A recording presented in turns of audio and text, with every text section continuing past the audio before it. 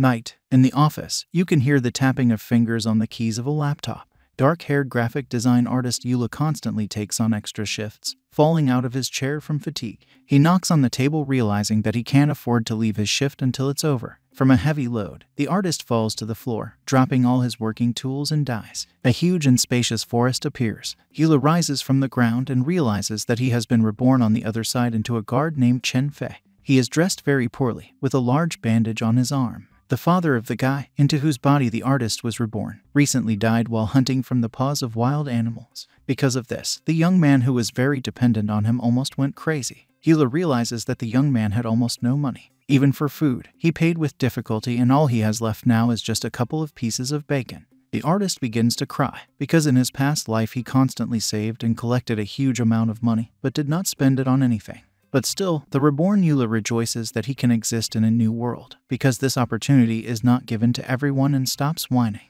Thinking about how to improve his life, Yu Le looks at the boundless, blue sky. But suddenly the young man squints. He is blinded by a bright light. He does not understand what is happening at all, but soon a sign appears with the inscription, The Ascension System has been activated. What kind of ascension system is this? He's not sure he heard it right. The guy begins to think that he has become the main male hero of a new, as yet unknown to him world. With great joy, he dreams of how he will now rule them and have a harem of a bunch of beauties. But the young man immediately realizes that all this is nonsense, gets on his knees, and says that he is ready for anything.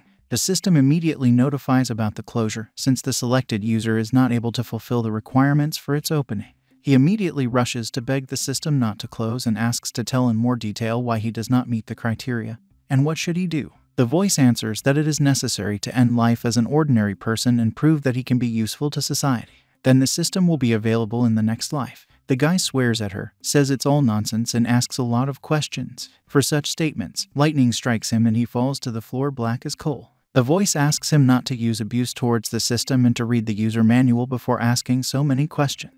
He agrees, because the system has its own character. The young man asks how his next life will turn out if he remains nobody in this one and are what he needs to do to make the mission considered fulfilled. Will he remain himself? The system says that his soul is archived, and when reincarnated, it will be able to return all ARC data again, as well as repel all attacks in seconds. Yu Le understands that even in this case, he will have to live in an unknown world for at least 50 years, and thinks about suicide or death provoked by external circumstances. Maybe this will activate the system. He asks what will happen if he dies due to reasons beyond his control. The system responds that any normal person has an instinct for self preservation, and if the user's actions lead to his death, this will be counted as a violation and activation will not occur. Yu Le realizes that he will not be able to provoke death himself, but he can make her come to him. The guy asks the last question to the system about who he really is Yu Le from a past life or Chen Fei from a new one. It turns out that the real personality is based on the physical body, so for everyone now he is Chen Fei. The guy happily says that he will try to live the right way of life for the sake of his future. But immediately a red warning sign pops up and the system says that the young man should live his life with dignity. Now Yu Le understands that he will live without any desires, like the most ordinary person. The system wishes him all the best and asks him to contact with any questions. She says goodbye and the voice disappears into the bright light. The guy is left alone. He believes that even if the system is very powerful, it still cannot be perfect. He is Chen Fei now. And what does he care about his past identity? Finally, everything has become clear and Chen Fei confidently sets himself a goal to use his external forces effectively, meeting the requirements of the system. He goes out into a bright, green forest filled with the sun. An old and dilapidated house remains behind. In total darkness, on a small rock stands a huge ancient building of the sect of ecstasy. Tall, made in classic Japanese style with a red roof. Only one moon and stars illuminate it and the falling foliage of the trees around. An incredible number of people in black robes swarm inside the building, whose faces cannot even be glimpsed. They pray to the saint, ask her to illuminate and preserve the sect. A pink haired girl in a provocative burgundy dress stands on a large podium that towers over all the other members of the sect. Completely barefoot, she laughs insidiously. Holding a purple sphere in her hands with long purple nails. The lady is very beautiful. She has unusual lilac eyes, long eyelashes, bright makeup made in red tones, and long hair. She says that the sphere in her hands is an extremely powerful weapon that the ancient monarchs left behind and with him, the sect can rise to the top of the best demonic schools. The enthusiastic crowd rejoices at her and praises their saint as omnipotent. Suddenly, white and red magical light magical stripes begin to swirl around the girl like a whirlwind. She struggled to stand on her feet, but the magic was stronger and someone took her sphere. The saint is trying to consider and understand what has just happened. At the very top of the building, against the background of the black sky and many shining stars, there is an incredibly beautiful blonde girl in a white revealing outfit. Her front hair is braided into small brown beads at the ends, and in her hands the most cherished magical object shines. She looks down with her big, bright yellow brown eyes and sees a saint who recognized the abductor. She looks at the blonde with contempt and hatred and notices the artifact in her hands. The thief of the precious treasure tells her to catch her, if she can, of course, and defiantly shows the sphere that she just snatched right out of her hands. The leader of the sect orders her loyal subjects not to let her go far and grab the escaped thief as soon as possible. On the sunny edge of the forest stands a simple house with a thatched roof, hidden behind trees. A lot of light and fresh air gets into the slightly open window. Yu Le is lying on a small single bed in a spacious room, taking a deep breath and throwing his hands behind his head. He thinks about how difficult it will be to die, because the rules of the system are very strict and it is extremely difficult to circumvent them. He plans to think it over carefully later. Suddenly, the guy's stomach starts rumbling loudly. Holding it with his hand, he says that he is already hungry and really wants to eat.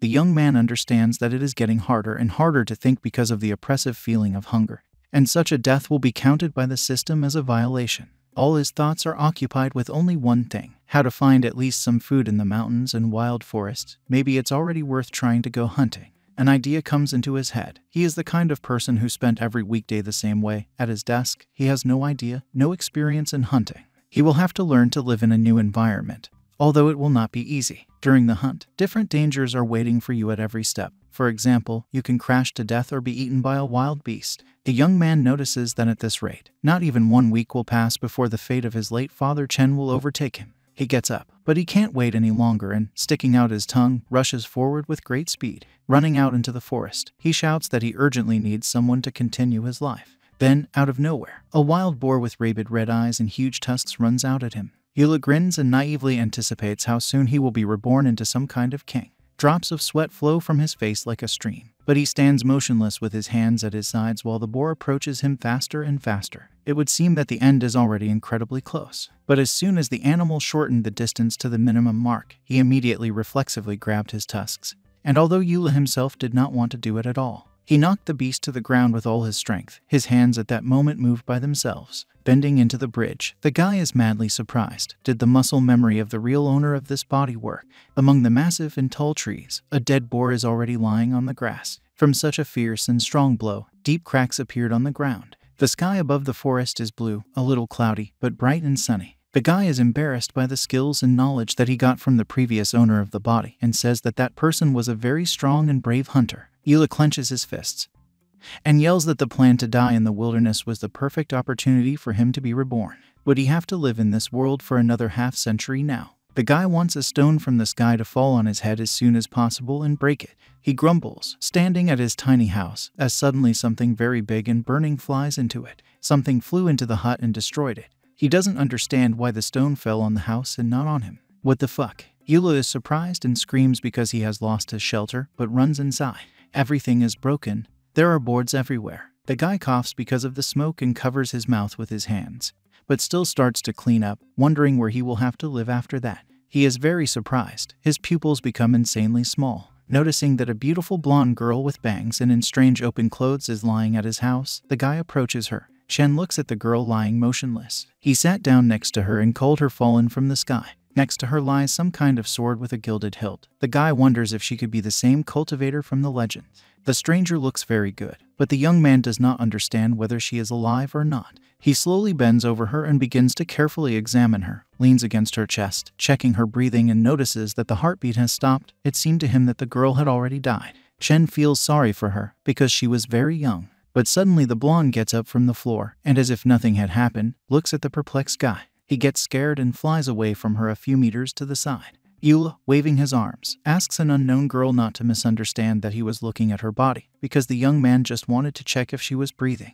A stranger with a sad face says in just one word that she is in pain. You can see by the guy's face that he doesn't understand what happened. In the forest, the two of them are sitting on the grass, and Yu Le tells the stranger that they will no longer be able to stay in his house and offers to try to heal her wounds with medicinal herbs, which he will immediately go to look for. While the blonde girl takes off her dress, Yu Le looks at the hut and realizes that he did not live in it for very long. The blonde replies that there is no need to go anywhere. The young man turns to her, freezes in shock, screams, and asks what this lady is doing and why she took everything off herself. A translucent magical light with small blue light stretches to the girl's hand. Two small vessels with liquid appear. An already undressed stranger holds them and says that she has a healing medicine, but her body is very weak now and Yu Le must help her apply it to the wounds. The guy has a stream of blood from his nose from such a stream. He asks the girl sitting next to him if she is sure of this and hesitantly reaches for the strange jars. The blonde replies that cultivators don't care about such things, and the young man tells her that she behaves too bold. The girl notices that Yu Le is very kind to her. He begins to smear her with medicine very carefully. The guy's face expresses regret and pity. He says that the wounds on his back are very serious. As soon as he passes this incomprehensible tool over the cuts, they are tightened in an instant. The guy asks why this medicine is so powerful. Is it really the treasure of the immortals themselves? He continues to curiously examine the body of a stranger and notices a large scar on his shoulder, asks about it, but the girl evades the answer and telling him that it's a long story and begins to dress. She calls herself Cultivator Zhao Zuli from the Neiwen Sword School while using a strange gesture, putting her fist in her palm. The girl finishes introducing herself and thanks the young man for his help. He tells her that he is the simplest hunter Yu Le, the guy points his finger at the sky and asks the blonde how it happened that she fell from there. Zhao, very alarmed, begins to tell him that a few days ago she found out about some secret plan that the ecstasy sect is developing, and in order to prevent her from fulfilling it, the girl decided to remove their magical protection, but she was noticed and chased to the very end after she fell into the young man's house and destroyed it. But Zhao asks not to worry, because as soon as she returns to the sect, he will definitely be compensated. The guy calls the girl a monster, because she alone is going to go against an entire sect, but it also means that she is incredibly strong. The girl stands nearby, not understanding anything.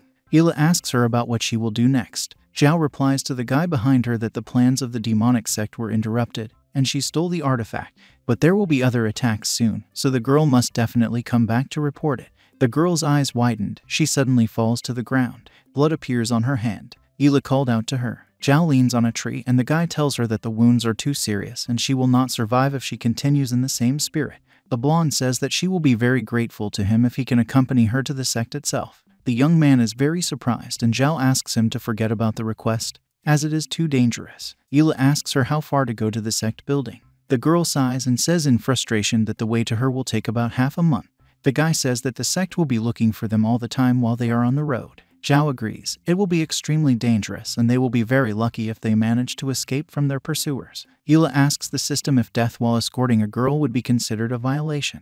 The voice replies that usually peasants don't try to become heroes, but it's not against the rules if he dies due to an accident while helping other people. The guy grins, but Zhao doesn't understand what is happening to him. She approaches Yu Le and says that it was too rude of her to ask for such a favor. She will not force him to do something. The young man looks at her and confidently says that everything is fine and he will help the girl. She is surprised by his agreement. Yu Le says that Miss Zhao did a valiant deed for the benefit of all ordinary people, and now she stands alone in front of the lion's den. Although the young man is mortal, but he knows what he has to do and wants to help in the fight against the demonic sect, the guy encourages the girl and says that they will stand together. She thinks he's lying a little, but Yu Le doesn't seem like an evil person to her. What's going on? But still, her main goal is to reach the sect, so the rest is not so important anymore. Zhao asks if the guy is sure that he will go with her. Laughing, he says that she needs to thank him because they will be lucky. The girl replies that then he will be overworked, and the demonic sect will soon start chasing her and they should start acting as soon as possible. Chen asks to give him some time to collect things. He approaches the chest with a sign and tells the deceased old man that he will borrow his son's body and let him die, and then rest in peace. Miss Zhao and Yu Le set off straight from the forest. Voices can be heard next to a huge black column. Someone is shouting about a huge loss. People in black robes curse Zhao Zuli because because of her, a 50-year plan for the development of the ecstasy sect was destroyed.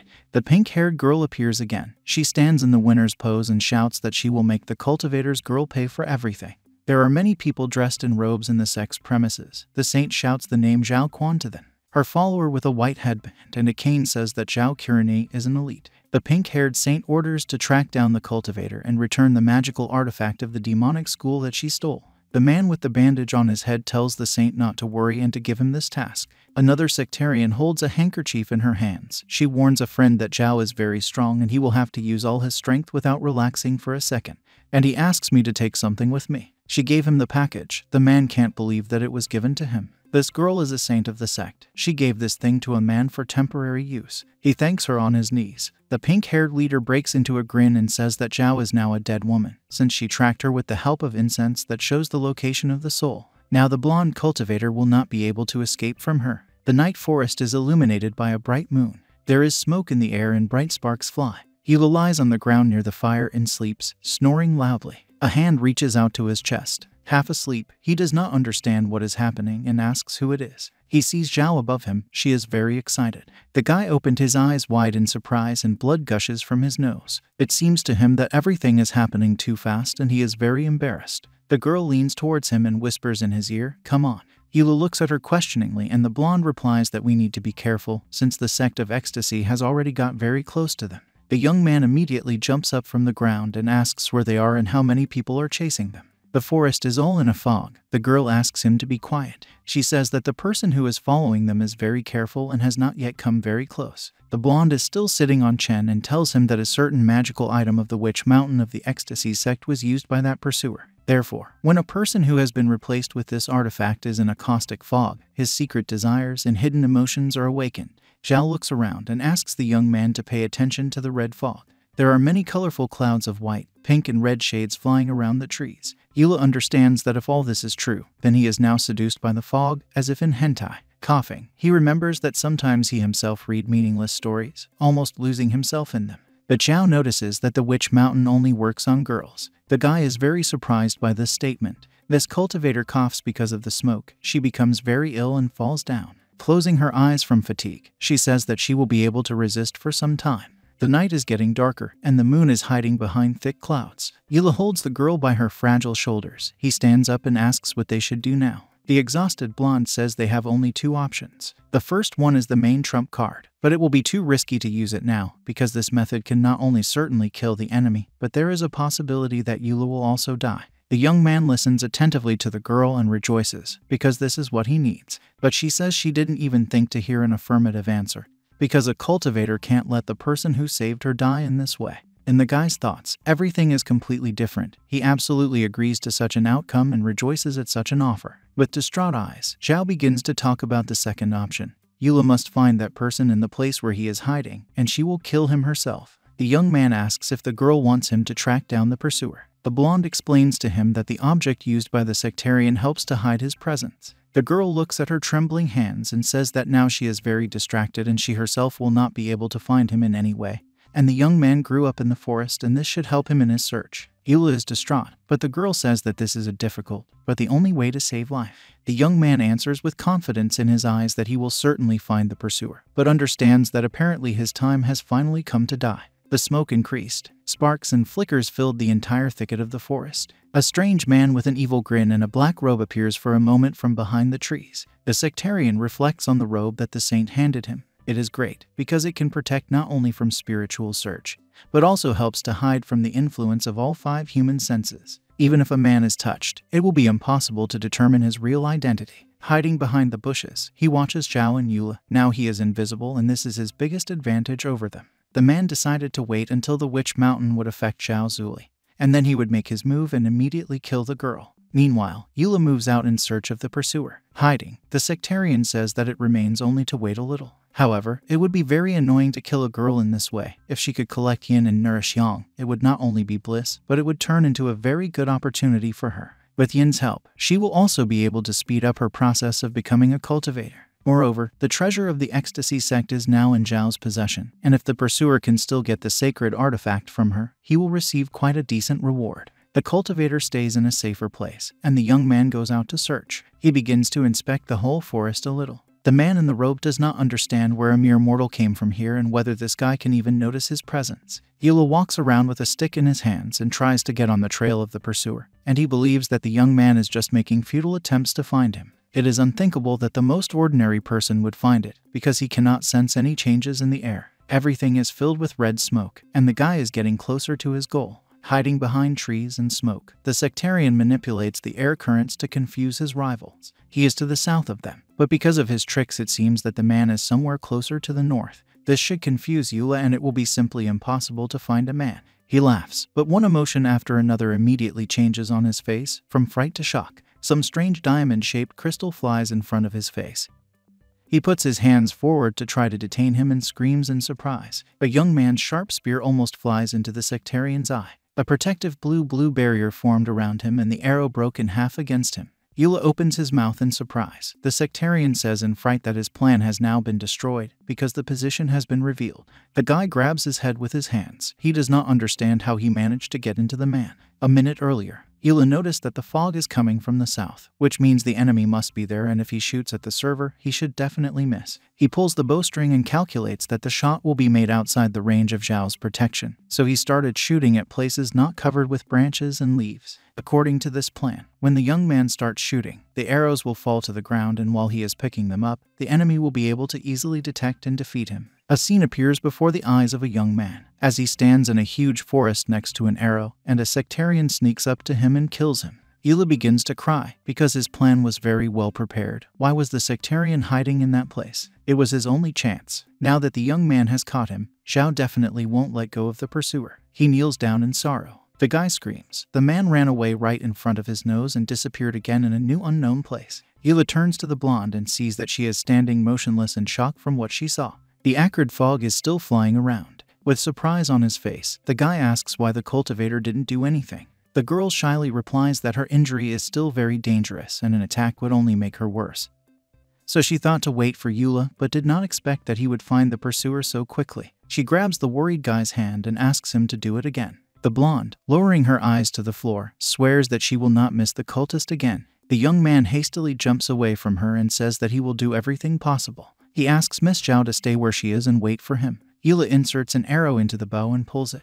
The guy understands that this time he will not be able to hit his target so easily. A man with glowing eyes thinks that this time they will definitely not be able to catch him. He rushes into the thicket of the forest, leaving acrid pink smoke behind him. The moon illuminates the dark forest. Magical blue sparks fly everywhere, mocking the young man. The sectarian says that an ordinary mortal will never guess that he has decided to return to his former position. He is all in anticipation. How will the young man try to get into it again? By the bright campfire, Zhao and Yu Le are discussing something, while the sectarian is diligently hiding in his former place in the thick grass, armed with a bow. The young man thinks where the pursuer could go this time. He's not stupid enough to just run around in a circle and return to the spending position. Yu Le is very excited. He understands that this time luck will not turn to him like that and the young man will definitely miss. The man waits with bated breath in his place, but then an arrow flies into him with a whistle again. The guy is shocked that he was able to do it a second time. The pursuer is scared, but Yu Le notices that he ran away again and disappeared into the forest.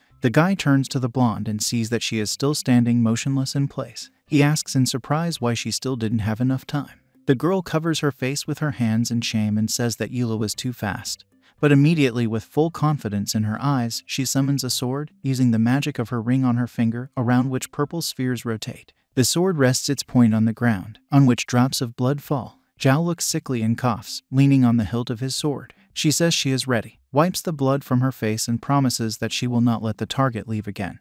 And when Yu Le finds him again, she will immediately kill the man. The guy looks at the poor girl in concern, but resolutely grabs the bow. In his thoughts, he asks the sectarian to try not to let him hit him again. A pursuer is hiding among a huge amount of vegetation. He realizes with horror that Zhao Zuli's medicine is about to take effect and now is his last chance. The smoke is spreading more and more actively in the air. The man jumps from tree to tree. It doesn't matter if he lives or dies, but he needs to try to carry out his plan. Yu Le points the arrow up, thinking where should he shoot, and a man rushes into the air with the thought, where would it be better for him to hide? The semi-transparent shadow of a sectarian is visible on a tree through a thick fog. Both the pursuer and Yu Le understand that it is very dangerous to hide and shoot anywhere. Witchcraft slowly begins to weaken and the man becomes more and more noticeable. The guy thinks he should shoot where the sectarian won't hide. The cultist thinks that he needs to hide where the young man will not think to shoot. The pursuer jumps, and the guy notices him, points an arrow, and shouts that he is here. The man continues to jump, using his magic.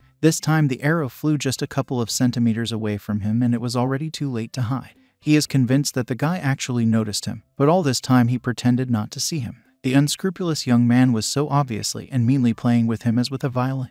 The arrow turns out to be right in front of the sectarian's eye, and he prays that it does not hit him in the face. Yu Le was taken aback when he saw all this. The young man calls the man crazy because he just jumped straight to him on an arrow. The guy thinks for a minute. But what if the sectarian has the same system as him, which needs his death and that's why he rushed at his arrows? Everything around is illuminated with a bright pink light. The girl's eyes have already noticed the pursuer. The man realizes that Zhao Zuli has found him. The girl rushes to catch him and screams for him to finally die. A fierce struggle begins between them. The blonde swings her sharp sword. In all this reflected light, only the cultist's dangling legs are visible in the air. A huge and bright pink flash of Zhao's magic appears before his eyes. Yu Le is mesmerized by the sky. Bright rays illuminate trees and plants throughout the forest. The man falls exhausted to the ground covered in blood. The young man runs up to him, calling him brother. He asks him why the sectarian kept jumping straight at the sharp arrows. The wounded man tries to answer, but Yu Le asks him another question again Did the man really want to die so much? The shocked sectarian is bleeding from the head.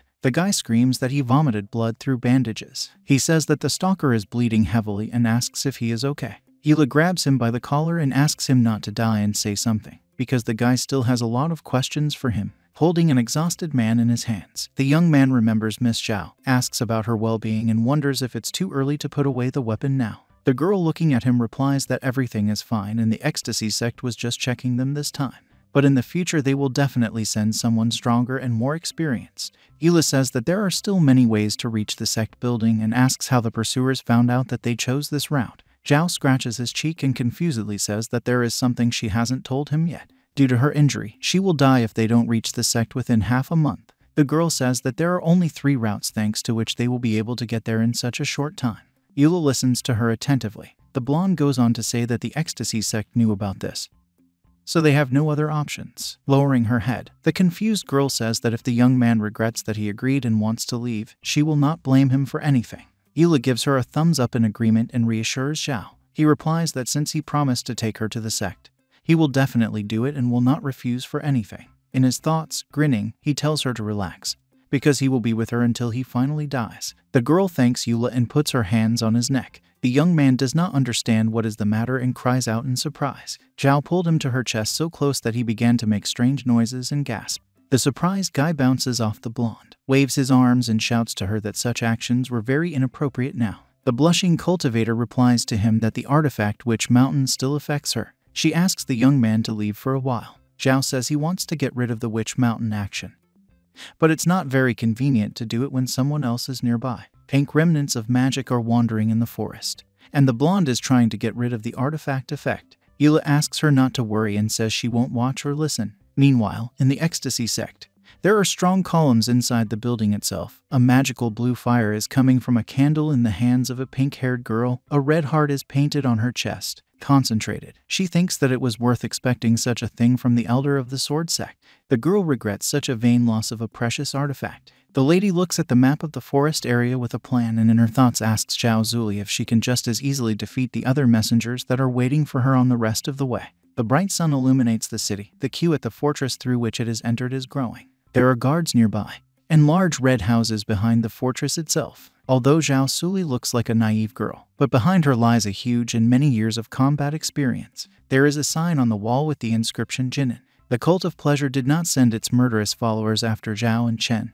and they calmly reached their new goal. They walk slowly through the beautiful streets of the city, and the young man asks the blonde why they had to stop in Jinin if they have to go to the cult of the Sword of Wen. The girl replies that their people are guarding the entrance to Sidon. Looking at the map, she explains to the guy the location of their goal. The sword cult is located in the vassal district of Sidon. Jinin is a city on the western border of Sidon, protecting the entrance. Yu Le enthusiastically looks at the map with his hands folded to his shoulders. The girl explains that she is injured and they will have to pass Jinin first in order to successfully reach Sidon. The map shows various paths, forests, houses, and roads of the city. The young man replies that he understood her and asks if the sect of ecstasy will dare to pursue them further when they have already got so close to the cult of the sword. In the thoughts of the young man, if this does not happen, then the blonde will have to kill him. She says that the cult of the Sword of Wen is the largest school, and therefore the cult of ecstasy definitely should not challenge them. But the demonic academy also does not miss its chance to become at least a little stronger. Angrily, Zhao says that she is sure of sending at least a few more mercenaries.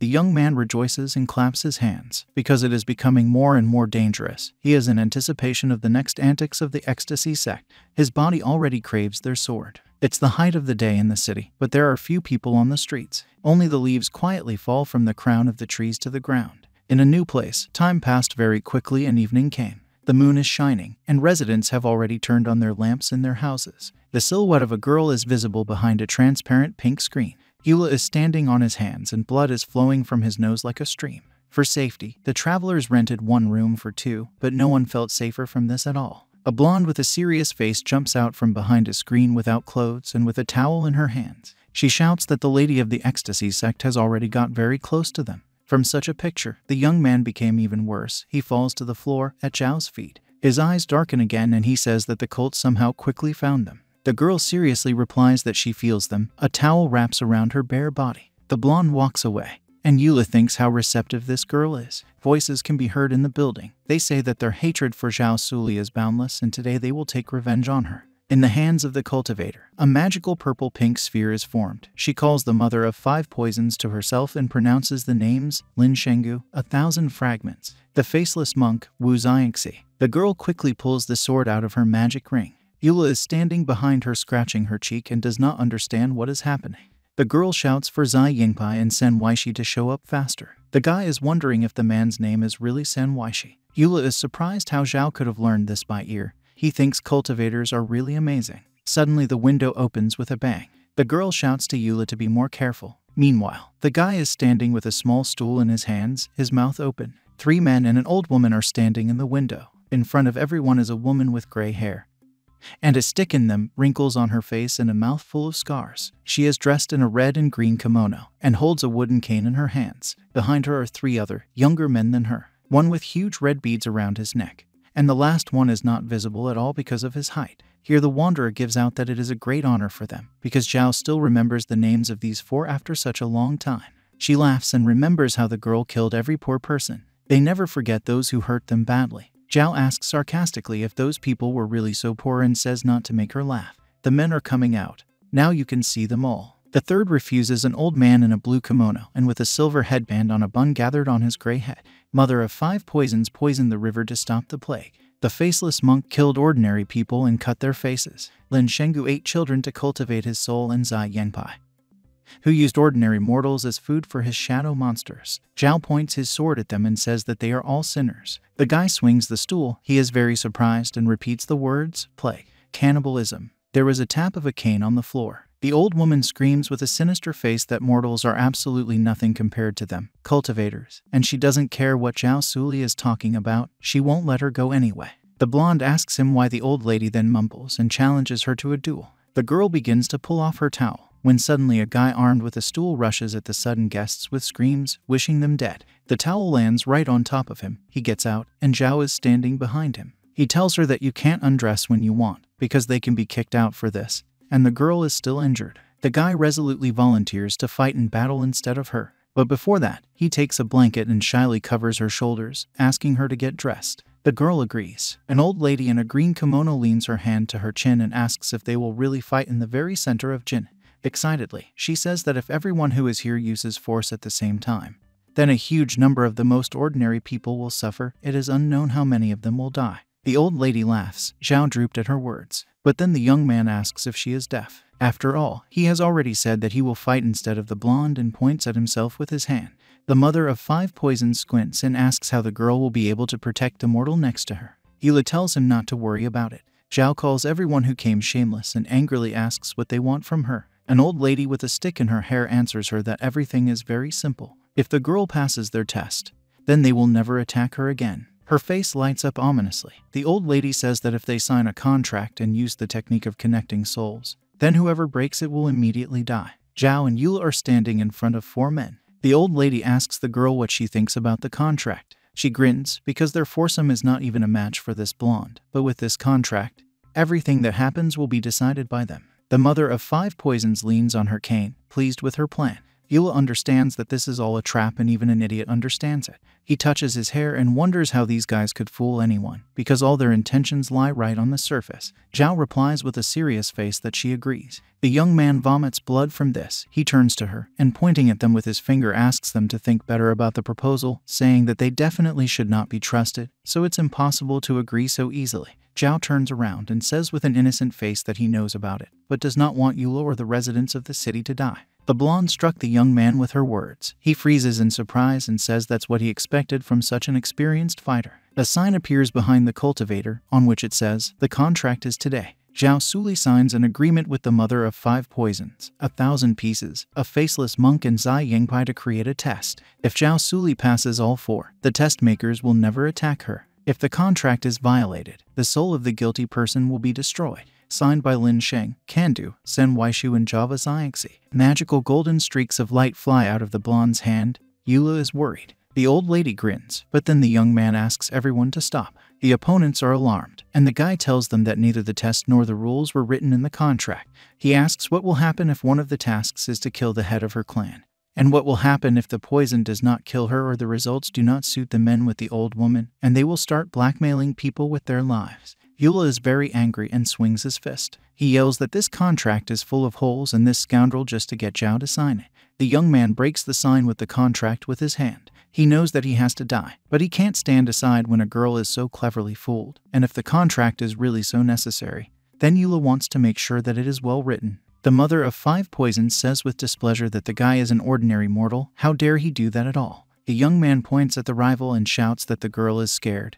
And the old woman threatens people. The mother of five poisons screams not to be listened to because the guy just spoils her reputation. Zhao gets into the argument with a sword in her hands. She asks if the sorceress has a reputation. Yu Le gives them the middle finger. The girl says that the opponent should change the contract or fight with her because she is ready for any consequences. They leave to discuss not words. They can't fight because they will lose. The old man in the blue kimono says that maybe it will be possible to change the contract and still defeat the cultivator. The man in the beads says that you should not be afraid. After all, if you don't try, you won't know. The mother of five poisons hits him in the chest and shouts that none of them wants to die. Addressing his rivals, he says that since they are so excited, the contract will be rewritten. Yu Le replies that some amendments need to be made. The test should not exceed the skill. And when passing the test, no one should die or suffer much. The young man understands that their confidence indicates that they have seriously prepared, otherwise, Zhao would not have had to sign a contract. The last condition is departure to uninhabited lands in case of successful passing of the test, so that their rivals can no longer interfere in the affairs of ordinary people. The guy doesn't want to touch the main component of the test to help Zhao and die if necessary. The old lady smiles. She has already realized that their plan has been figured out and Yu Le wants to dissuade the girl from signing the contract with all her might. What to do about it? She will have to agree to its terms. She will not pass the test anyway. Yu Le says that he wants to put his name next to the blonde's name in the contract. The mother of five poisons agrees, but warns the guy that he himself decided to intervene. He will regret it because he is an ordinary person, and the guy thinks he'll regret it if he doesn't sign this contract. A white haired man utters some kind of creepy spell. A magical golden light gathers around and a sign with a new contract appears. Today, Zhao Zuli and Yu Le sign an agreement with the mother of five poisons. A thousand pieces, a faceless monk, and this Pai about creating a test. If Zhao Zuli and Yu Le pass all four, the test makers will never attack them. If the contract is violated, the soul of the guilty will be destroyed. Terms of the contract 1. The test does not exceed the skill of the four. 2. The test must be completed without death or injury. 3. When passing the test, the four must immediately go to the west and stay away from people for 10 years without contacting the outside world. Signed by Lin Sheng, Kandu, Sen Waishu, and Java Xiangxi. Zhao shouts to the young man that he shouldn't do it. He turns to her and with a smile says that since the opponent signed it together, then they should do it. The girl is confused. Yu Le understands that this is a death sentence, no other way. He must sign it. The guy bites his finger and writes the names on the contract in blood. The blonde is surprised that they have become partners, because she has always worked alone, and Yu Le is just a mortal, but wants to fight with her side by side. Her hand reaches for the contract and she signs it with her own blood, promising to protect the guy if he wants it. Yu Le sits on the floor in front of the competitors, asks what kind of tests, and asks to show them. The old men look at each other and say that they are intended for cultivators, so this does not concern a mortal. The guy replies with satisfaction that his name is also on the contract and he should be able to pass it and reminds them that they wanted to fool Miss Zhao, so he will help her. Or are the rivals just afraid of defeat? The cultivator is pleasantly surprised and pronounces the name Yu Le. The old lady grabs the beard of a man in a blue kimono and says that the guy is very self confident. Then he starts yelling that if he wants to die, he can go to him. Her hand is still on the beard of a friend, and he asks why she is pulling him. Poison wine is the name of the test of a man in a green kimono. There are five buckets of water on the floor. To pass the test, you need to drink three glasses. A man with a beard complains that it hurts because of an old lady pulling on it. but he says his test is much easier. You'll just have to play with it. The man in the beads is talking about the debate. A wolf with bright red eyes appears, and the last opponent sets a condition to hold out next to the shadow beast for an hour and a half without dying. An old lady with a stick in her hair tells them to choose a test. Yu Le reaches out to choose, but the girl stops him and thanks the young man, pulling his hand away. She says it's a survival game and asks to let her deal with it herself. The guy says that he tried very hard and asks not to ruin his plans. Zhao worries and blocks the path of the young man with his hand. She says that his body is too weak, so the young man may die, and the cultivator cannot allow this. He looks at her with displeasure, but abruptly remembers that he almost forgot about the rule. If the player tries too hard to die, the system will count it as suicide and will not give him any power. The guy thinks and turns away. In his thoughts, he asks the system to wake up, and the rivals look at him in bewilderment. The system begins to appear after a small download. A blue monitor hangs in front of Yu Le. He tells her that he has decided to sign a contract to take the test and asks what will happen if he dies during it.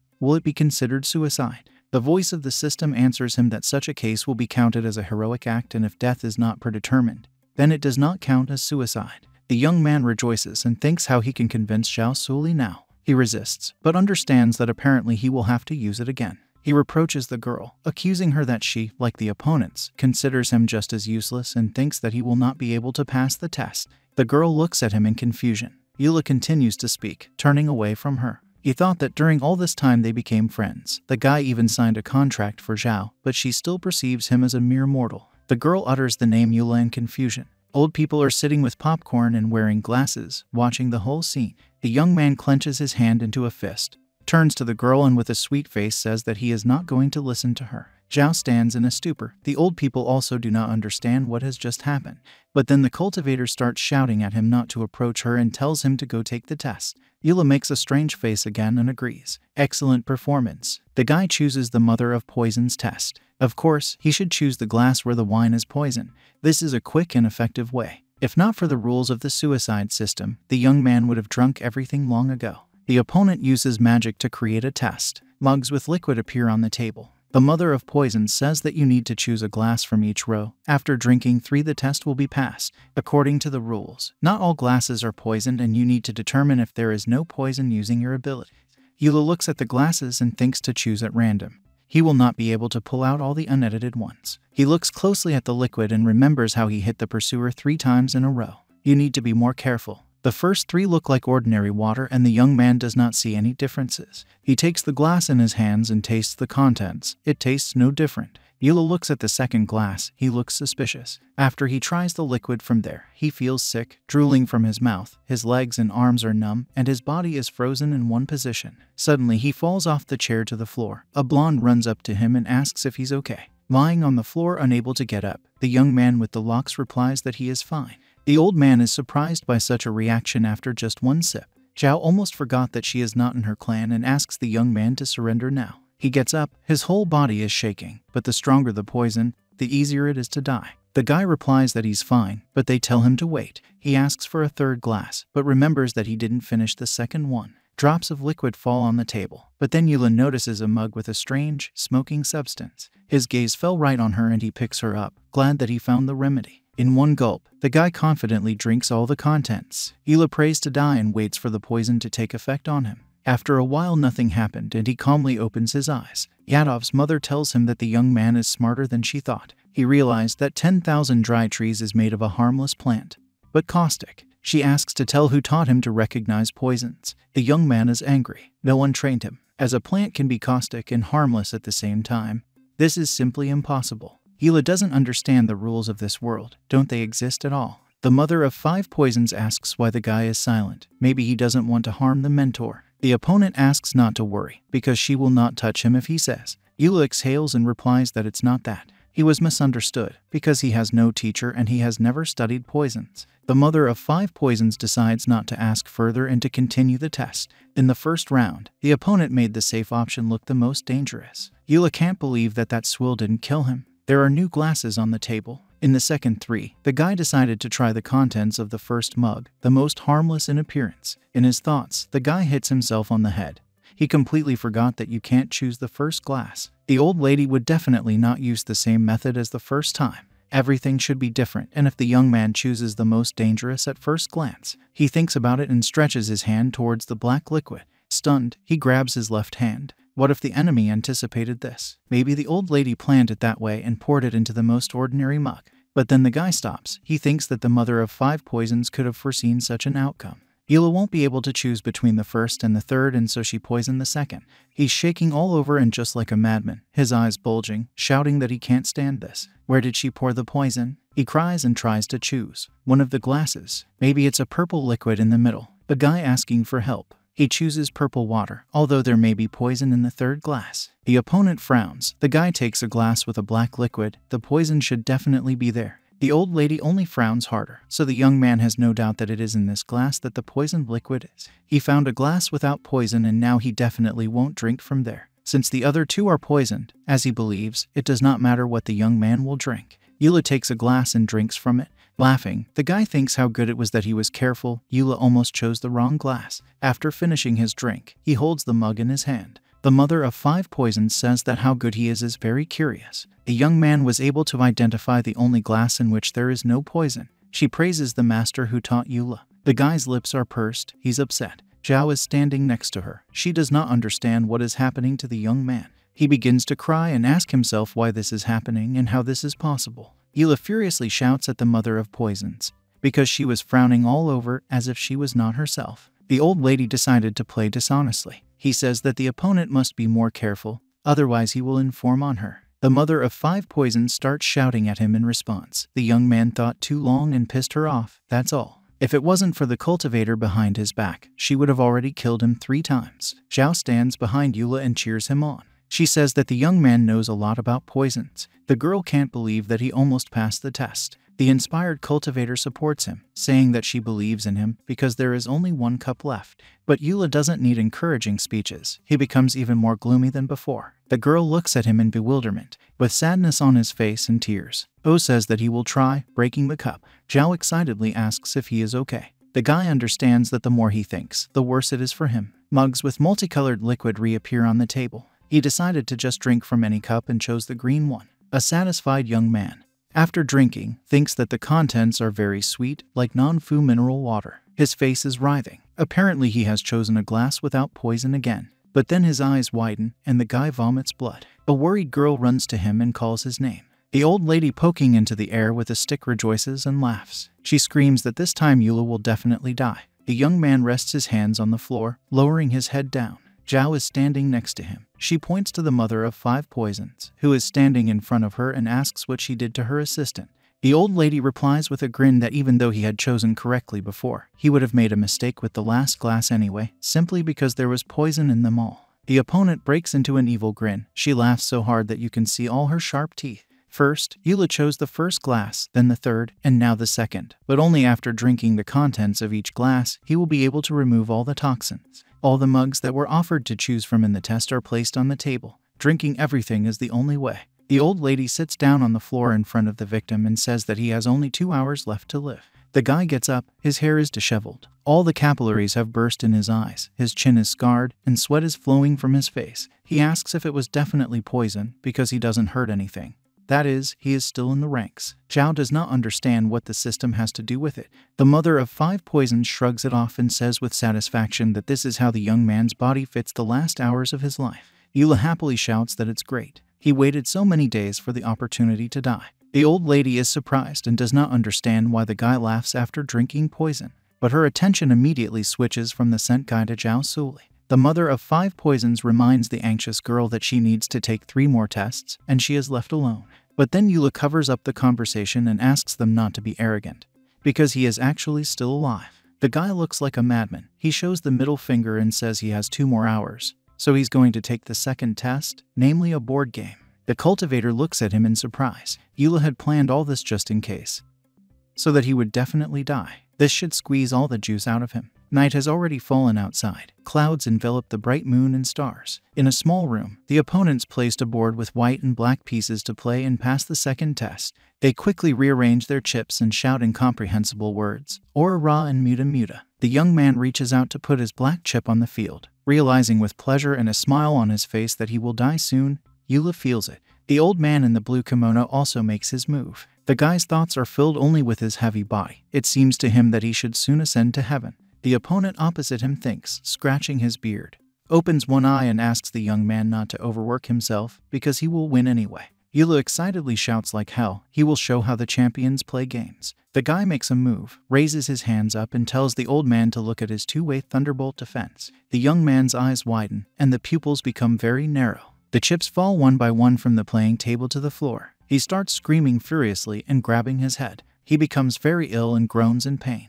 The guy sits on his knees in the middle of the room, holding his head and shaking all over. Zhao calls him by name and asks how he is. Had the poison really begun to take effect? The guy still won't let go. The mother of five poisons laughs at him and enthusiastically says that all this time the poison was spreading through his veins, and because of the game it finally worked. Zhao angrily asks what the rivals are up to. An old man in a blue kimono, sitting at a gaming table, answers her that nothing, just his magic tool. The chips fall down again and he says the name Minye. It attacked without his knowledge. The mother of five poisons stands with a man in beads and says that every time he talks about it, she wants to pretend that they are strangers. He agrees with her. The old man angrily shouts at them to shut up. Magical blue and red light rays are flying from a strange silhouette sitting in the lotus position. The opponent begins to explain that during the game the soul of the players is gradually destroyed and its purpose is just to help the cultivators. But for mortals without a cultivator's soul, the energy is simply drained and the mind is damaged. The young man is in terrible pain. The tool is to blame for all this. Zhao is standing next to a guy who can't come to his senses. His head is splitting with pain.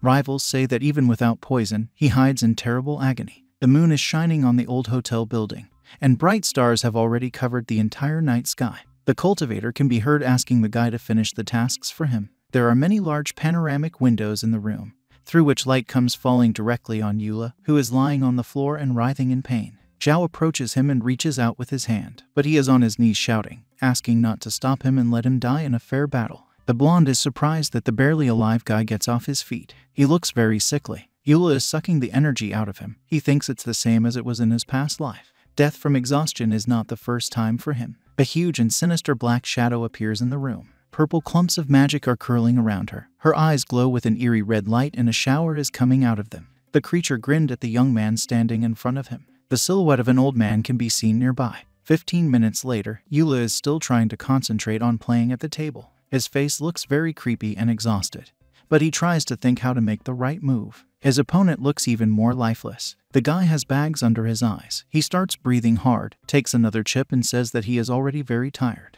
The young man turned pale, but tries to hold on. The mother of five poisons laughs and, grinning, says that he has very little time left to live. Suddenly, for some reason, the girl started up. She really asks Yu Le not to put a chip and wait a little, even if she stops for a minute.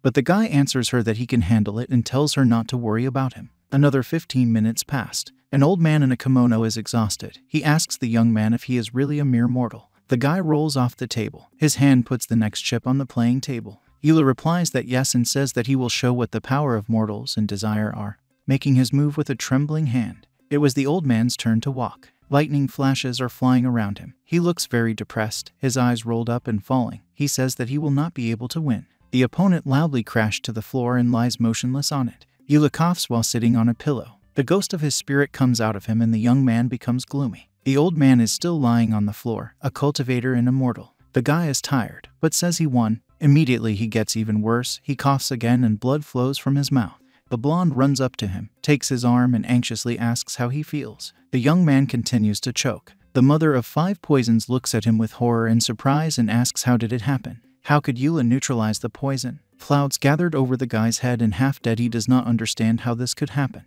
The cultivator next to her is all beaming with happiness. They are happy that the young man has neutralized the poison. The old lady poking her finger shouts to Yu Le that he is a bastard and foresaw all this. According to her, the guy was just waiting for the moment to neutralize the poison. She says he really didn't get very angry. Yu Le is depressed that he managed to neutralize the poison. An old man in a blue kimono asks the mother of five poisons to stop complaining and asks what kind of games are these. She explains to him that she was afraid that the young man might know the secret of playing with chips. So, choosing poison, he drank a pyrotechnic meteor. Yu Le and the old man listen attentively to the mother of poisons. It turns out that he is the property of her cult, as he is almost incomparable. After it gets into the blood, a person is overwhelmed with energy and in the end it should break from its amount. An angry old lady says that during the game the board was visiting energy from afar. This neutralized the poison. A man in a blue kimono lost because of a pyrotechnic meteor, Yadov's mother said. Even the creator of this potion himself did not think of such a thing. Yu Le, distraught with fatigue, holds a knife in his hands. The young man is stunned. He says that all nonsense and opponents have gone crazy. The guy didn't even know that there was poison in the glass he was drinking from. A man in a black raincoat and with pointed ears says that the mother of five poisons overestimated Yu Le. How could he have known everything in advance in such a short time? This is pure coincidence. The old lady looks at her friend with displeasure. Yu Le hears from the conversation and shouts in the source that this man is really right. The mother of poisons objects to her friend and says that the young man was smiling during the signing of the contract. The man in the raincoat suggested that the guy could just be ultra stupid. The old lady looks at him and says that Yu Le was very calm after drinking the poison. And he also clarified whether the liquid was really poisoned which is already very strange. The mother of five poisons has just realized that the guy has been egging her on all this time. Yu Le can't stand all this anymore and coughs up blood again. The cultivator is very surprised by this. The mother of five poisons says that he saw through her and Ling Shenggu, and the blonde called him Yu Le. Her comrades ask who it is, scratching her chin. The old lady replies that he was Yu, maybe lie. She is horrified and asks if Yu Le is the son of the eternal demonic master Yu Shuihuan. The perplexed young man does not understand who it is at all and asks not to throw names around.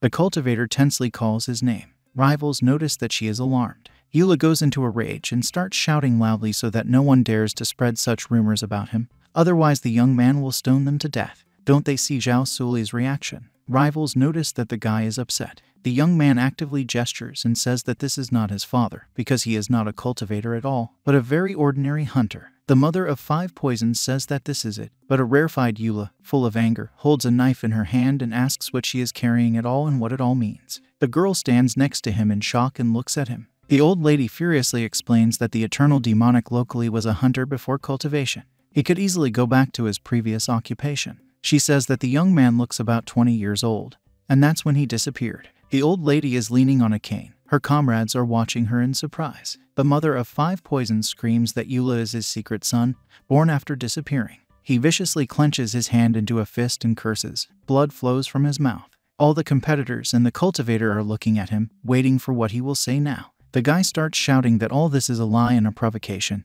and his father was killed by a beast. He stands in front of Zhao and says that if his father was so cool, he wouldn't have died like that. The old lady says in surprise that's it and claps her fist on her palm. Yu Le is already bursting with these words. He is angry and baring his teeth. The guy holds a knife in one hand, and with the other shows the middle finger and screams angrily because he does not understand what this here it is means. Sarcastically asks the mother of poisons if she is a yes giver or something like that. The shadow of a man with red eyes appears, and the old woman tells that 20 years ago the eternal demonic master fought with the master of despotism. She says there were rumors that Yu Le's father lost and was seriously injured. A scene appears before my eyes as a man's feet follow a bloody trail, and broken swords and someone's bleeding head lie below. The woman continues her story and says that he either became mortal or died of wounds, and apparently the rumors weren't lying. The guy turns to Zhao and exclaims that the old lady is lying. Magical purple clots appear from the girl's ring. The guy asks in horror not to take out the sword, because he has not finished yet. He explains that he does not have any cultivator abilities, and if that person really was his father, then why did the abilities not pass to him? The mother of five poisons tells him to stop lying, because everyone knows that it takes more than 30 years to master his abilities. The young man and the cultivator are surprised. Yu Le begins to wonder if he could even get into the body of the demon master's son. But then the guy turns his head what is he even thinking about? He understands that Yu Le is his name. Not that kid's. This old lady has filled all his brains. The young man notices for himself in confusion. He starts shouting to the opponents that they misunderstood everything and how could they believe in such a thing. Men are afraid of him, and the mother of poison stands ready to attack him with a cane. She shouts that since he is his son, it is his duty to join their cult. Why is he helping Zhao Zuli then? The girl also asks Yu Le why he is doing this. The guy is already tired of the showdown. He no longer has the strength for it. Yu Le looks at the mother of poisons. He understands that if he does not agree, the old hag will come up with something new again. Zhao stands with a sword in front of Yu Le. The young man has already neutralized the poison and everything will be great if the girl kills him with a sword. But if she just beats him, then how else can he die? The guy has two more tests ahead and he may well die, resolutely. He notes that whatever it is with this cult, he does not care. Yu Le confidently says that it seems to him that evil comes from the heart. And not from the cultivator's abilities. The guy refutes this and says that he is a good person at heart and reminds them that they are still not done with the tests. Zhao is standing in front of Yu Le, armed with her magic sword in a defensive stance. She looks at him in disbelief, fully ready to fight. But the young man says that he will pass the next test and asks if she will believe him if he can do it. The girl puts her hand to her heart and realizes that evil comes only from the heart, as Yu Le said. The man in the beads says that the guy deserves the title of the son of the eternal demonic master. The young man asks why only the monk remained and what happened to the others. He understands that he is bad at debates, and it will be even more difficult to hold out with a shadow monster, which means he will definitely be able to die. The man with the elf ears says he doesn't care about them. His companion in beads asks if he has made up his mind. Sen Waishu agrees. They both throw themselves at the feet of Yu Le who does not understand what is happening and sobbing call him master. Hugging the guy by the legs, the man in beads says that Yu Le's father used to be his master, and Sen Waishu tearfully claims that he once fought under him. And since the young man is his son, now he is their master. Men say they want to give up. Yu Le is surprised. The old lady shouts that they are traitors and have no shame or conscience. But her former comrades do not react in any way and continue to stand at the feet of the young man. The mother of five poisons and an old man in a blue kimono are crying because they forgot about them. Yu Le and Zhao exchanged a questioning glance with each other. The guy viciously towers over the traders and tells them that nothing is over yet. He makes them get up and finish what they started. But men say that it is not necessary, because they give up. Yu Le shakes them and tells them to uncover their weapons and the beast as soon as possible. Zhao stands by and watches an evil young man who really just wants to die. Men ask their master to spare them. An old man in a blue kimono, looking at all this, says that he is afraid and asks the mother of poisons if they will stay alive. She replies that she doesn't know it herself. The old woman turns away from the young man, who has already brought the traitors to unconsciousness and says that she has understood something. Yu Le angrily asks what she has come up with again. The mother of the poisons replies that the guy signed the contract as a cover to kill them and take all their belongings. He was deliberately trying to get everyone out of himself so as not to kill for no reason. The woman calls Yu Le a scoundrel. Her companions do not understand how a demonic master could have spawned something like this and calls him a devil and a brat. The guy thinks that someday he will kill this old woman. Zhao pulls out his sword and says it's enough to wait. We need to finish everything. The girl, holding a weapon in front of her, tells them that since they have surrendered, they must follow the contract. Now they have to go west. Rivals get scared and confused by such a harsh statement and say that what they expect from the cultivator is strong although she smashed them to smithereens, but they have not lost their dignity yet, so they will definitely fulfill their part of the contract. But this is not the end, and they will definitely meet with her again. A group of rivals escapes through the door, leaving a white trail of smoke behind them. Zhao and Yu Le were left alone. The guy sits down contentedly on a stool and says that they have not come to anything and he is only more tired. The blonde diligently returns the sword to the magic ring and forgives him not to behave like that. She says that the young man either underestimated the mother of five poisons and others, or overestimated the girl's ability, because now she would not be able to defeat them in any way. A tired young man offers Zhao to go to bed. But the girl asks him to stay because they have something to discuss. She pushes her hand into her chest. Yu Le's eyes almost pop out of their sockets. He's thinking about Miss Zhao. A guy and a girl are widowed in a dark room. But then there is something around in purple. The blonde is holding an object in her hands. He asks in surprise where she got this thing from. The blonde asks Yu Le if he knows why the cult of pleasure pursues her, to which the young man replies that she kind of annoyed them with something. The girl brings a purple ball to Yu Le's face and says that she stole an artifact, a sphere of witchcraft. Clusters of magical energy gathered around the magical object. It turns out that the sphere is the property of a cult. It is found in an ancient secret kingdom. With its help, it is possible to strengthen demonic techniques. But the most dangerous thing is that it can corrupt people and turn them into heartless creatures. If the sphere had remained in the hands of the cult of pleasure, they would have summoned the strongest demon. Yu Le touches the sphere with his finger with admiration and asks if there are any more of them. Zhao replies that yes, for example, the soul devouring flag, but due to some circumstances, it was not received. The girl puts the sphere back behind her chest, which makes Yu Le's jaw drop. The cultivator says that she did not tell everything before because she did not consider it something significant. Perhaps he corrupted her and the young man, who is mortal even more so. Even telling a guy about him is dangerous. But the girl looks at the worried Yu Le and says that everything is different now. She had revealed all the cards and now it was his turn. The cultivator asks if he wants to share something. The young man thinks that it's time to tell her everything. If he didn't answer, would she leave him? In his mind, this scene looks something like this. The young man grabs Zhao by the hand and says that it's all about his transfer from another world. To turn on the system, he definitely needs to die. Yu Le comes to his senses and realizes that it's definitely not worth talking like that. The girl is still waiting for an answer. He is embarrassed by her look, but promises that he will not cause any harm, and in case of danger, he will die instead of her. Yu Le says that he has a couple of secrets, but they will not harm the blonde in any way. It is quite difficult to explain this. The girl stares at him and pointing her finger up says that it should be so, because everyone has their own cockroaches in their heads and she believes him. The guy is surprised that this is all she told him. The sky was illuminated by a bright sun. On the road near the dense forest, there is a cart drawn by two horses. A flock of eagles soars high in the sky. And inside a small carriage, Yu Le sits dehydrated from the battles and thinks how the mother of five poisons and those idiots who were with her encouraged him. They ran away as soon as the case smelled fried. They also made Zhao Zuli, who was sitting next to him, doubt him. The cultivator sitting in a vulgar pose next to him anxiously asks if everything is fine, because the guy looks very bad and gloomy. The young man looks at her, quickly runs up to the window and looks at the road. Zhao approaches him and asks him to be patient a little more. The girl says that now they are in a safe place. They will soon arrive at the hotel, and as soon as they do this, they will go to rest. Yu Le frowned. Why does he need security? He just wants to die. Why can't we let him do it? The cart, swinging from the sling to the side, rushes into the distance. A huge swirl of dust rises from the movement on the road. There is a small terrace of the hotel with a sign.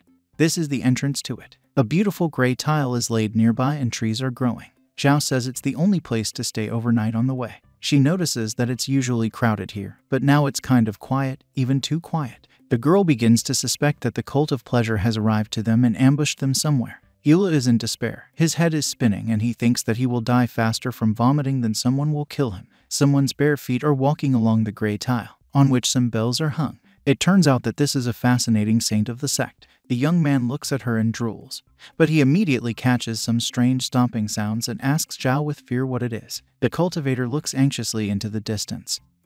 People in black robes are rushing towards them. The guy is happy that the fight and fun begins again. The pink haired girl stands in the crowd of her subjects and angrily says that the four morons were useless because there is not a scratch on Zhao and Yu Le, so she herself will have to kill them. The young man and the cultivator are shocked by her words, but the girl asks the saint why she came to them. In response, she says that the blonde apparently got scared. Yu Le asks if she was hurt. The saint jumps and laughs. Her subjects stand with swords. She says that the six dimensional formation of the Great Desire has already been completed. The cultivator also does not hesitate and takes out her weapon. Yu Le is standing next to her. The pink haired lady shouts that Zhao Zuli will die today. Dark purple clusters of magical shadows gather around the cultivator and the young man, they seem to be alive, with red eyes and sinister grins. The creatures surround the girl, but she waves her sword and asks the saint if she is worth something. The shadows got very close and Zhao decides to fight them. But then Yu Le comes running past the focused girl with his tongue sticking out and shouts that he will save her. The young man quickly resorts to the cultivator to save her. The pink haired lady is very surprised and screams with a frightened face and jumps aside so far that she flies 200 meters back into the air. Zhao and the men in robes are looking at how far she will fly. Soon the lady falls to the ground. She is lying on the tile. Her hands are covered with numerous scratches. Her man in a gray robe approaches her and anxiously asks if everything is fine with her. The saint is trying to get to her feet. Her subjects are standing next to her. Her face is covered with bloody abrasions and bruises. The lady angrily says to kill the guy and Zhao. And first of all, she orders to kill the scumbag Yu Le. The young man is standing very tense. A crowd of minions of the cult of pleasure is stomping down the road with swords to kill him as soon as possible. But then they are stopped by a bright pink light that appeared as if from nowhere. The weapons of the sectarians fall to the ground, and they themselves close themselves from the light with their hands. They begin to be sucked into the magic portal of Zhao one by one. Yu Le stands frozen at the entrance of the hotel amid the smoke. Miss Zhao recently told him that she was seriously injured. But in what place? She doesn't give the guy a single chance to die. Standing in front of the coughing saint of the sect, the cultivator tells her that the strongest head of the cult of pleasure has already fallen from her sword. She holds a sword in her hands and contemptuously adds that she is surprised at such incompetence. Why wasn't a young cult master sent to her? A crippled pink haired lady with a grin answers her that the master will still come to avenge them. But then the girl's eyes widen and she falls headfirst onto the tile. Yu Le notices that she doesn't move. He thinks the saint is probably dead. Suddenly, a sword falls out of Zhao's hands and she also falls off her feet right in front of the young man. Excitedly, he approaches her, takes her by the shoulders, and asks the girl about her well being. Frustrated, she replies that she spent the last of her strength to break through new opponents. The girl is exhausted and tells the guy that even he could kill her now. Yu Le doesn't think so, because it would be much easier for a cultivator to kill him. Zhao somehow gets to her feet with his help. There are bruises and scratches on her face. The guy tells her that the saint of the cult looks strong and he can't believe that she turned out to be such a weakling.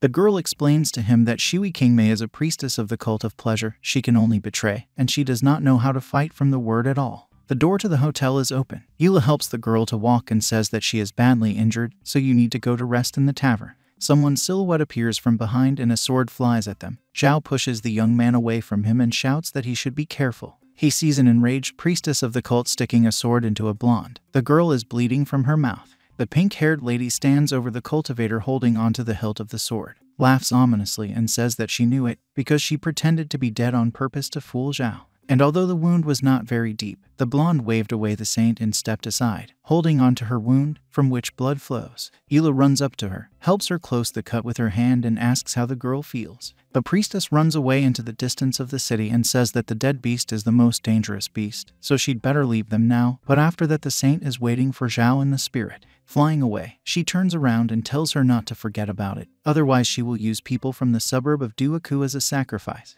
Yu Le angrily shouts that they all only know how to grind their tongues and calls them jerks. In the suburb of Duek, the weather is sunny. The light falls on the grass and leaves of trees. Next to a small river, over which there is a wooden bridge, there are houses of local residents, fenced with a wall. But suddenly something will fall with a bang on the brick roof of one of the buildings, glowing with golden magic rays, and it turns out to be a long haired man with blonde hair. His blue eyes have a menacing look, and he is dressed in a black and yellow suit. Clusters of bright magic are flying around the man. People in black robes and a priestess of the cult look at him from below. The young master had finally arrived. He lands on the grass, making various curls. People of the cult do not understand why they show off like that. Apparently, he likes to flutter. The man beaming straightens his hair. Everything around him suddenly becomes shiny and pink. The pink haired lady puts her fist in her palm, leans her forehead against it, and greets the young master. As soon as the girl starts talking about Zhao Zuli, the blonde immediately disappears somewhere. The saint does not understand where he has gone, but after looking carefully into the crowd, she notices a man hiding.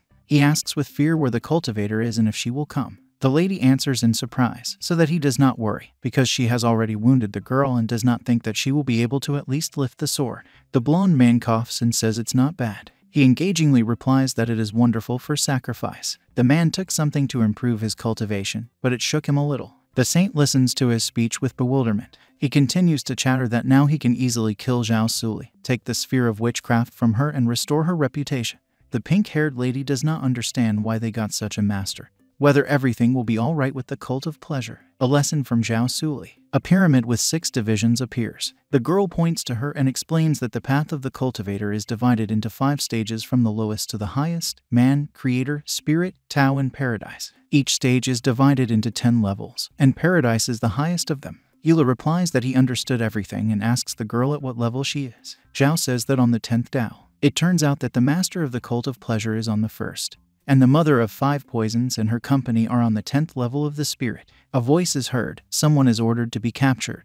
There are people walking along the road whose hands are shackled. A man in a black robe is shouting for pathetic mortals to get on their knees quickly. A cult master stands in front of them. Some kind of magical device appears in blue magic and with ribbons at the bottom. A blond man with fiercely red eyes holds it in his hands, controlling the flows. He tells the unfortunate with a grin that today they will see the power of the soul devouring banner. Green clumps of their souls stretch out of people. They wrap around the cult master, who grins, holding a banner in his hands. He says that the souls of mortals have been transformed into pure energy. All the people are lying on the ground unconscious, and the soul eater continues to devour them. A satisfied blonde is interested in what the energy of Zhao Zuli's soul will taste like. With distraught red eyes, he shouts that he wants to find out right now. Blue towers over the hotel. Nearby, birds sing on the trees. Yu Le shouts in shock that the girl is not breathing. The young man grabs his head and shouts that she is dead and that he failed the task. The guy thinks what he should do now. He understands that he washed away to go to the spirit, so that the cult of pleasure killed him. Yu Le screams furiously and looking at the motionless girl says that he is very close to the goal.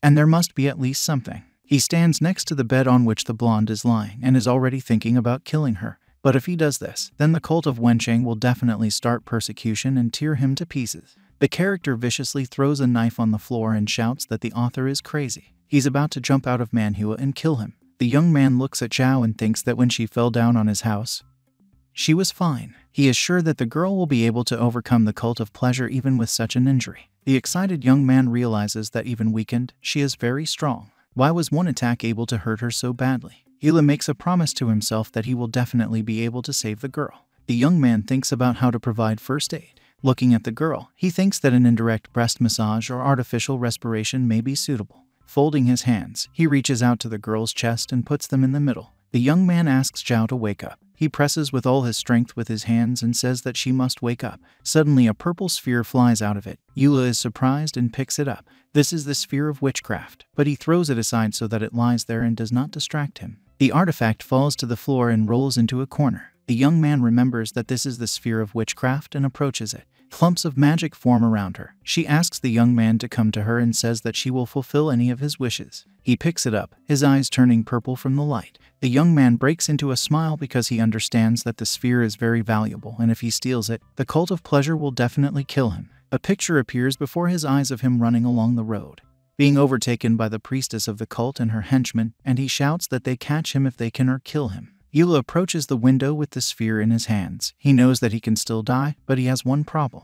Ever since he came to this world, he has been terribly unlucky. The young man cries and clenches his hand into a fist, because without Zhao Zuli, the cult of pleasure will not find him. Therefore, looking at the girl lying on the pillow, he says that she can't just die and for the first time he will have to save someone's life. The guy bends down to her mouth and begins to do mouth to mouth artificial respiration. Embarrassed, he asks the blonde to wake up. Yu Le says that he will definitely not let her die and starts screaming, How will he be without her? The young man is crying, covering his face with his hand because Zhao was wounded, not him. He tried so hard, and the girl died instead of him. The guy leans on the bed and buries his face in it. Suddenly, the cultivator's voice is heard. She confusedly and confusedly pronounces the name Yu Le and reaches out to him with her hand. The young man rejoices and shouts that the girl has finally woken up against the background of an orange sunset.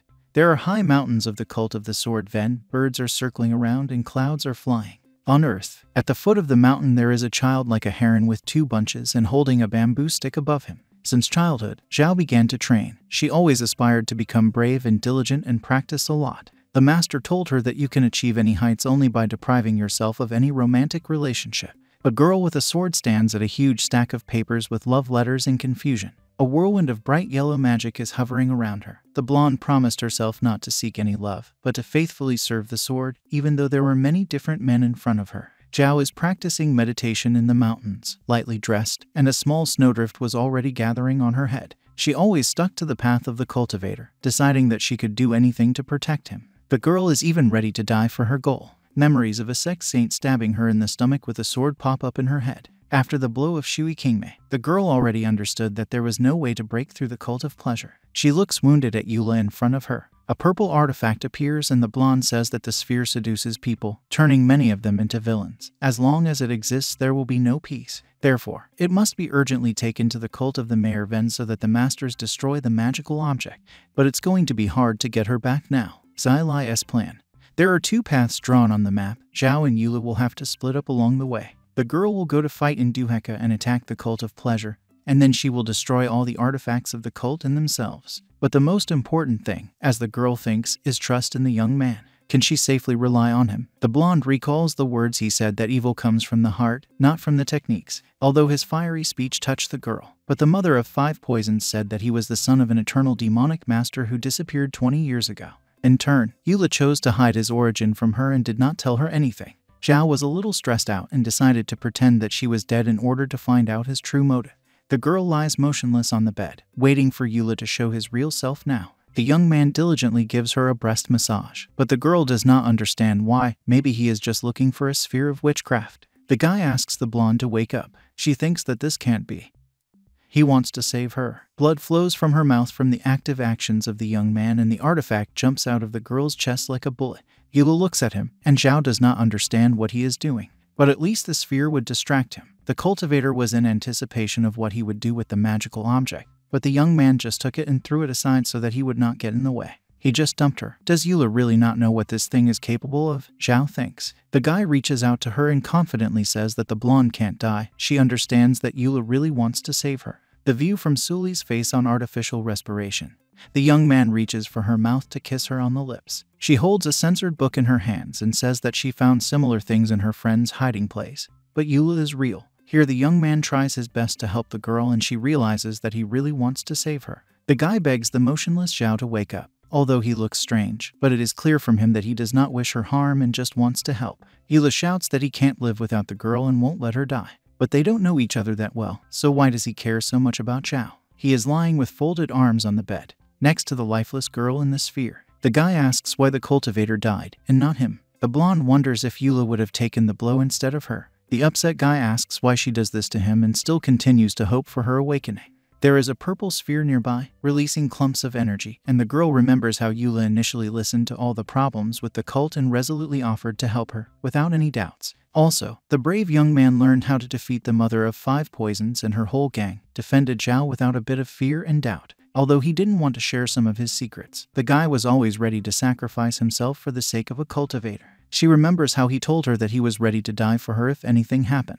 The girl is very embarrassed and jumps out of bed, shouting the guy's name, greatly surprising him sitting next to her. She is at a loss, because now it seems to her that the young man really loves her.